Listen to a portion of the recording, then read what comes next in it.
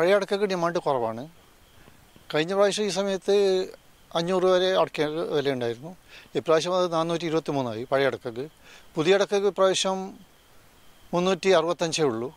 കഴിഞ്ഞ ഈ സമയത്ത് നാനൂറിൽ കൂടുതലുണ്ടായിരുന്നു. വലിയ ബുദ്ധിമുട്ടിലാണ് കർഷകരെല്ലാം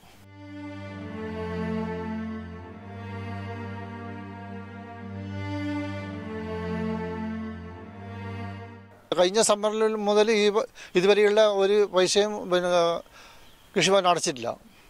അപ്പോൾ എല്ലാം മൊത്തം ഒന്നിച്ചടക്കണം എന്നാണ് അവർ പറയുന്നത്.